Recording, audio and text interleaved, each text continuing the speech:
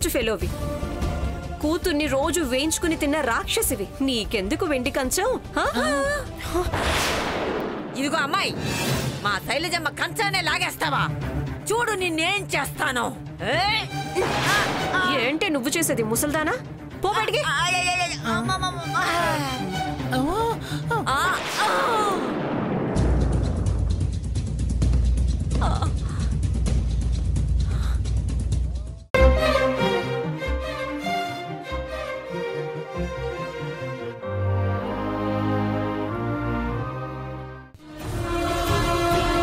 నా పెళ్ళమ్మ ఆనంది.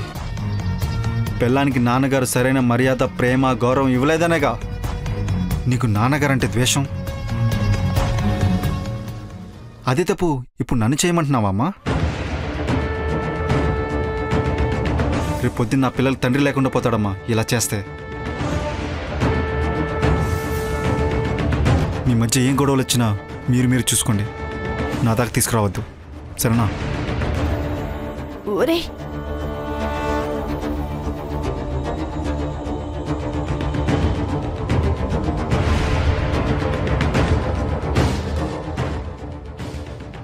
ఇదేంటి చెల్లాయ్? నీ కొడుకు కూడా నిన్ను వదిలేశాడు. ఈ ఆనంది కన్నా చక్కగా నా కూతుర్ని కోడలుగా చేసుకుంటే నీ పట్ల ఇలా ప్రవర్తించేదా?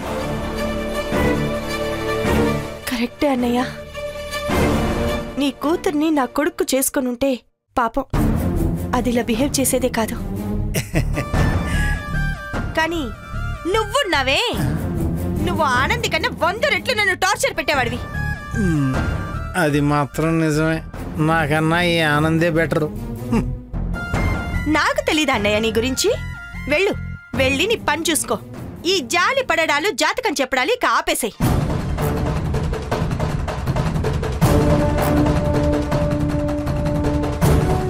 చింత చచ్చినా పులుపు చావలేదని మా చెల్లాయికి ఆస్తి పోయినా గొంతు మాత్రం తగ్గలేదు. ఇలా లాభం లేదు కానీ ఇంకో ఎత్తేసి మళ్ళీ వస్తా.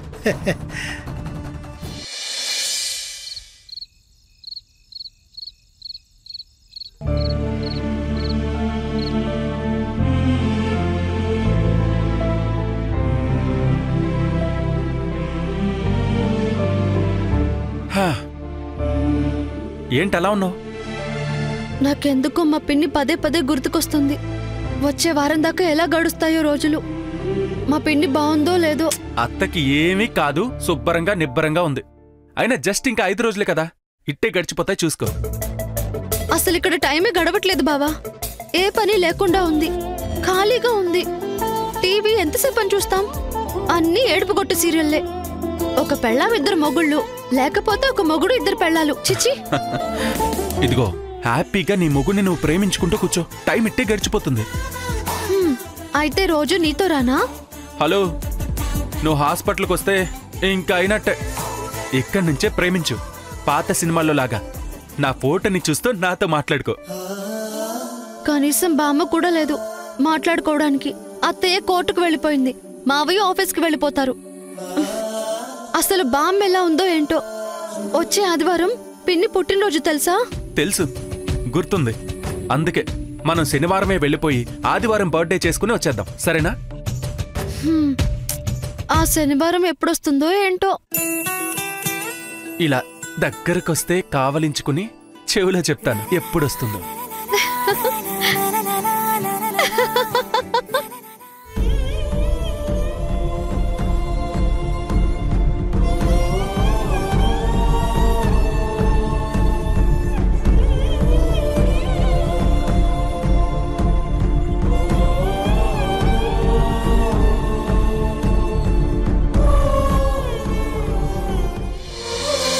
ఇవాల్టి నుంచి ఆస్తి వ్యవహారాలన్నీ నేను అది చూసుకుంటా.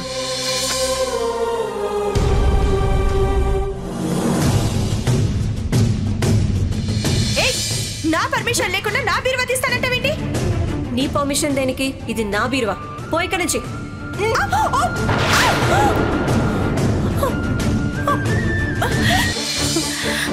ఎంత ట్రై చేసినా అది చేసిన అరాచకం మర్చిపోలేకపోతున్నాను.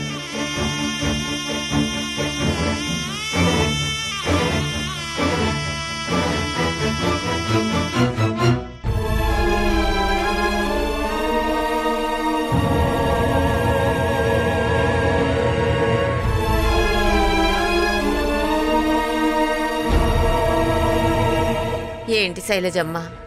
ఒంటరిగా కూర్చొని ఆలోచిస్తున్నావా? ఈ ముసల్దొకటి ఆనంది నిన్ను తోసేసింది. నీ మీద చెయ్యి ఎత్తింది. మర్చిపోలేకపోతున్నావు కదూ?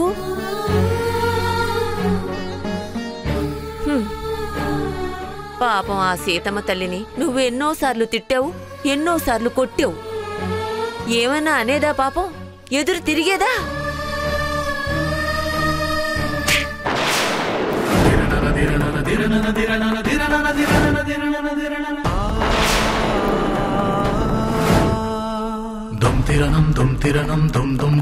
కనీసం నీ మీద కోపం దాని కళ్ళలో ఎప్పుడైనా కనిపించేదా?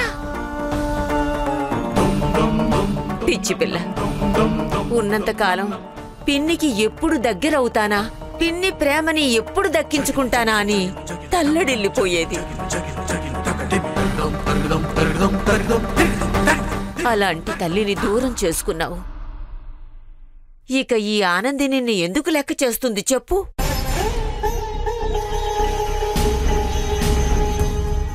ఒకటి చెప్తున్నాను శైలజమ్మ మనల్ని గౌరవించే మనిషి ఒక్కరైనా మనతో ఉండాలి. అప్పుడే ఇతరులకి భయం ఉంటుంది. సీతమ్మ నీతో ఉంటే ఈ ఆనందికి ఇంత ధైర్యం వచ్చేదా?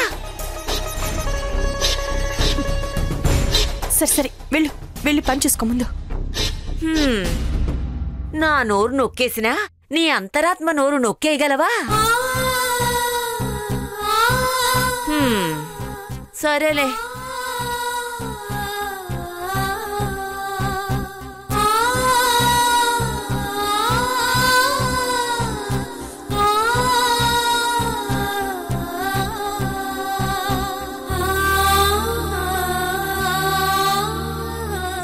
పెద్దమ్మ చెప్పింది నిజమే.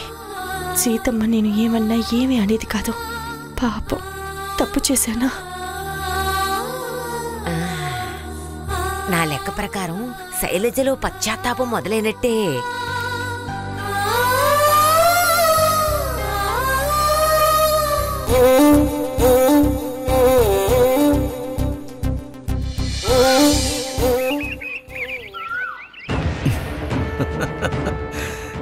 ఇచ్చిన సమాచారం ప్రకారం శైలజాని తన కోడలు తెగ ఏడిపించేస్తుందంట.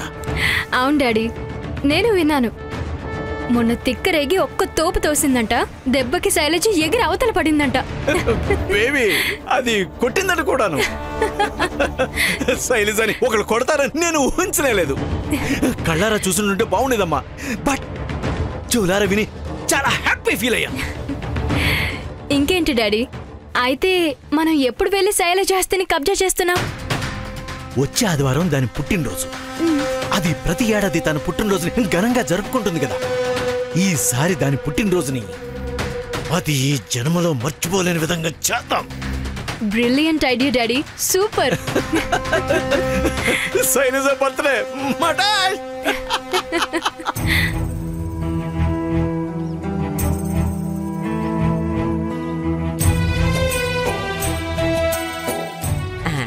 కూర్చోమ్మా.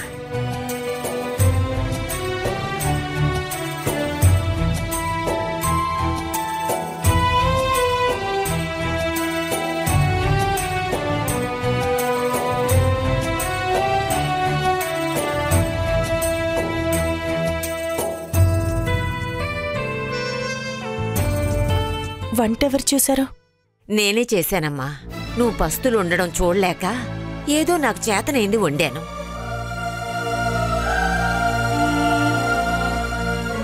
నువ్వు కూడా కాస్త వంట నేర్చుకొనుంటే ఈ తిప్పలుండేవి కాదు కదా తల్లి. ఏంటి? వెండి పళ్ళెంలో వడ్డిస్తున్నావా? మా శైలజమ్మ ఎప్పుడూ వెండి పళ్ళెంలోనే భోంచేస్తుంది అయినా నీకేమొచ్చింది నువ్వు కూడా ఒక వెండి పళ్ళెం తెచ్చుకో. ఈ ఇల్లు నాది. ఇందులో ఉన్న ప్రతి వస్తువు నాది.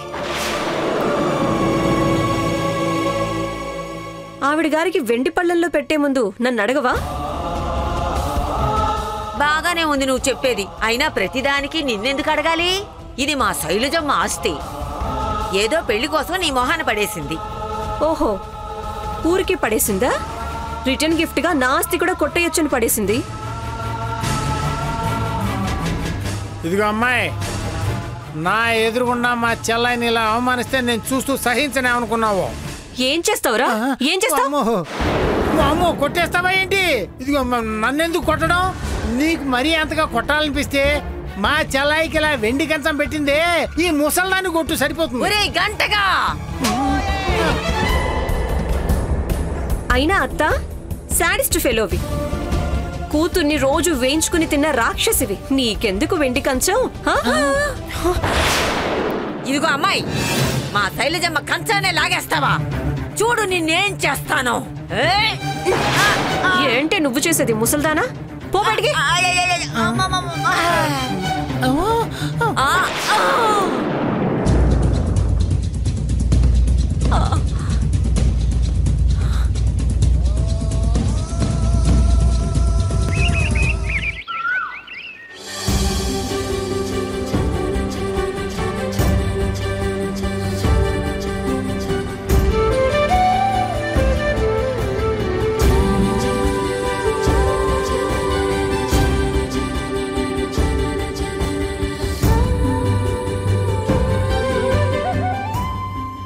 సీత ఇదిగో. హాయ్.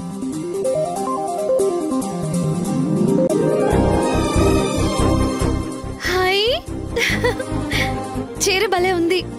మన సెలక్షనే. నీకే కట్టుకో. ఎందుకు ఇప్పుడు కొత్త చీర? ఊరికే నీ మీద ప్రేమతో తీసుకొచ్చా. మా ఇంట్లో మా పిన్ని ఒక సంక్రాంతి పండక్కి మాత్రమే కొత్త చీర కొంటుంది. అయినా నువ్వెందుకు ఇలా పండగ లేకుండా కొని దుబారా చేస్తున్నావు? కొట్టానంటే ముక్కు పచ్చడైపోద్ది. ఓన్లే కదా నా పెళ్ళాం కదా అని ప్రేమగా ముచ్చటపడి పది షాపులు ఎక్కి దిగి చీర కష్టపడి సెలెక్ట్ చేసి తీసుకొచ్చిస్తే చాలా బాగుందండి నా మీద మీకు ఎంత ప్రేమండి అని మెలికలు తిరగకుండా మీ పిన్నితో పోలిస్తావా? అంటే నువ్వు కష్టపడి సంపాదిస్తున్నావు. నా చీరలు కొని డబ్బులు వేస్ట్ చేయడం ఎందుకని? నీకు కొనడం వేస్ట్ కాదే. ఈ ఫిలాసఫీని మీ పిన్ని నీ బుర్రలో ఎక్కించింది. ఇదిగో ముందు దాన్ని తీసిపారే. అసలు నువ్వెవ్వరు? నా పెళ్ళానివి. అంటే ఈ ఇంటికి యజమానివి. అసలు ఈ చీరలు కాదే నీకు అసలు ఇంకా ఏదో చేయాలనుకున్నా. ఆహా ఏం చేయాలనుకుంటున్నావు? ఎందుకులే నువ్వు మళ్ళీ ఏదో ఒకటి అంటావు చెప్పు బావా ప్లీజ్ చెప్పు బావా. నీకోసం తాజ్ మహల్ లాంటి ఒక పెద్ద భవనం కడతా. దానికి మాణిక్యాలు పగడాలు వజ్రాలు అన్నీ కలిపి ఒక పందిరి మంచం.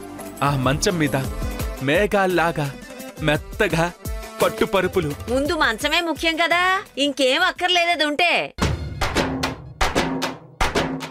ఈ వాయిస్ మన ఓల్డ్ లేడీస్ వాయిస్లో ఉందే? వచ్చేసారా? నేనే వచ్చేసా. బామ్మా? బామ్మా? వచ్చేసావా బామ్మా?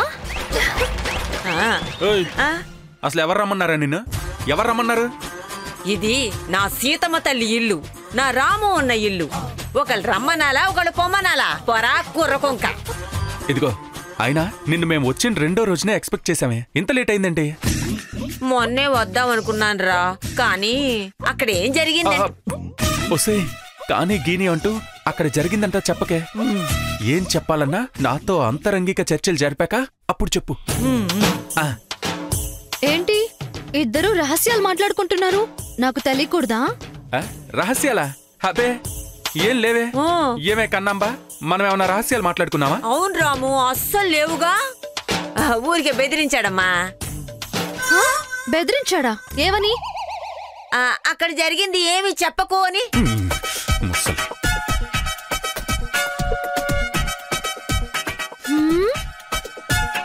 ఏం జరిగింది అక్కడ హా?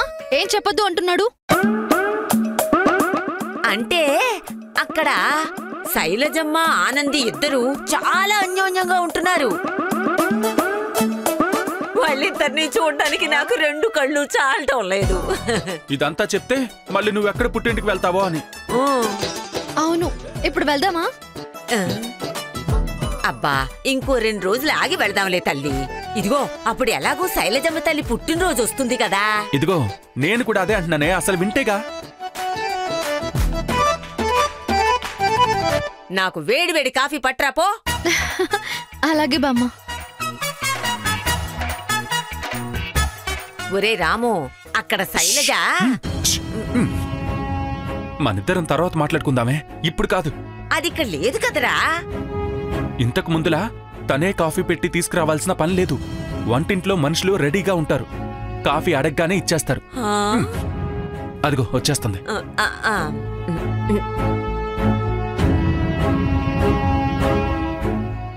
మీరిద్దరూ ఏదో గూడు పుటాన్ని చేస్తున్నట్టు అనుమానంగా ఉంది. ఏంటది? చాలేవే. నాకేముంటుంది గూడు పుట్టాని ఎరా రాము? ఆ, అసలు గూడి పుటాని అంటే అర్థం ఏంటో కూడా తెలియదు నాకు. అవును. అసలు ప్రపంచంలో మా అంత అమాయకులు ఎవరైనా ఉంటారా? నువ్వే చెప్పు. ఓహో. మీ ఓవర్ యాక్షన్ చూస్తుంటే డౌట్ వస్తుంది కానీ మీ రహస్యాలు కనిపెట్టే తెలివితేటలు నాకు ఉన్నాయి.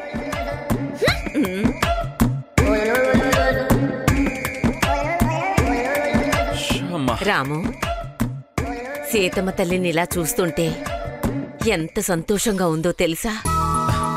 ఒసే బామ్మ నీ మనవరాలు ఈ ఇంటికే మహారాణే. చాలా చాలా థ్యాంక్స్ రా రాము. ఇదంతా నీ చలవే. అయినా నాదే ఉంది బామ్మ. సీతని ఎవరైనా కళ్ళకద్దుకుని పెళ్ళి చేసుకుంటారు. ఈ కాలంలో ఇలాంటి భార్య దొరకడం నా అదృష్టం. ఆ నువ్వు దానికి భర్తగా దొరకడం కూడా అదృష్టమేరా? నువ్వు కాబట్టి దాని మనసును అర్థం చేసుకున్నావు.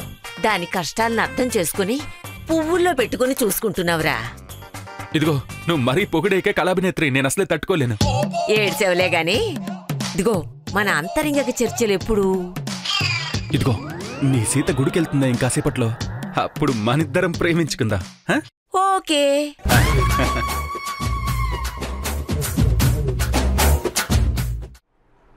लु पुलिनि समरं जरुपुतो समयं मुखीलायि रणम् मधुरमयीनकायं मरीचिपोदहृदयं हिलाय బాగా డబ్బున్న అత్తగారిలా. భలే ఉన్నానే.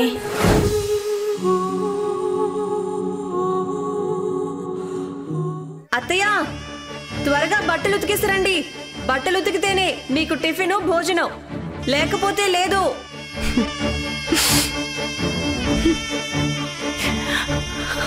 మహాశివుడికే మర్రి చెట్టు తొర్రలో తల దాచుకోవాల్సిన గతి పట్టింది. నేనెంత బ్యాడ్ టైం వస్తే అంతే. ఈ టైంని నేను ఫేస్ చేస్తాను. బురదలోంచి పద్మం పుడుతుంది. ఈ బురదలోంచి నేను బయటపడతాను.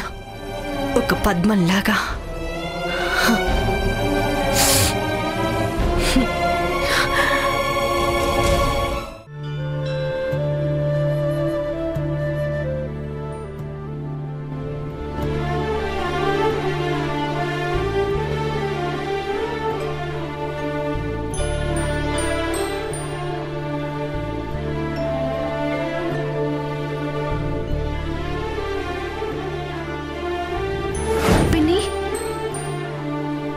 ఇవన్నీ ఖరీదైన పట్టు చీరలు. కుంకుడుకాయ రసంలో నానబెట్టి జాగ్రత్తగా ఉతకాలి. బార్డర్ రంగు దిగుతుంది. బాడీ కంటుకోకుండా చూడాలి. అర్థమైందా? అలాగే పిన్ని. తీసుకెళ్ళు!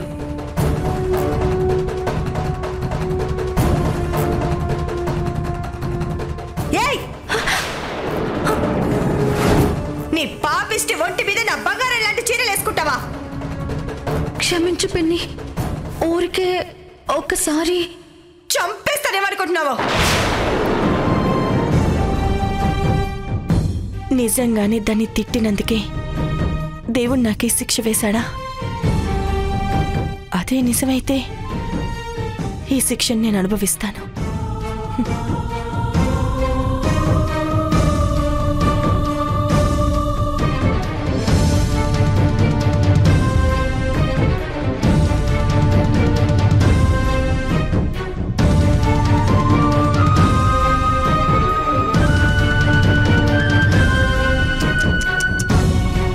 అర్రెర్రెర్రెర్రెర్రె.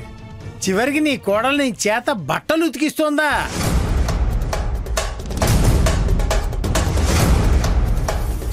అలా కోపంగా చూస్తే ఏం లాభం చెల్లాయ్? నీ కోడల్ని కంట్రోల్లో పెట్టుకోలేకపోయావు కదా. నీ చూపులకి పవర్ పోయింది చెల్లాయ్. చిన్నప్పుడు ఇలాగే అందరి బట్టలు ఉతికి బండెడు అంట్లు తోమి కష్టపడేదానివి. పెళ్ళయ్యాక కష్టాలన్నీ నీ సవతి కూతురికిచ్చి నువ్వు సుఖపడ్డావు. కానీ ఇప్పుడు నీ కోడలు మళ్ళీ నీ చేత ఇలా చాకరీ చేయిస్తుందని కల్లో కూడా ఊహించుండవు. ఎన్ని కష్టాలు పడుతున్నావు?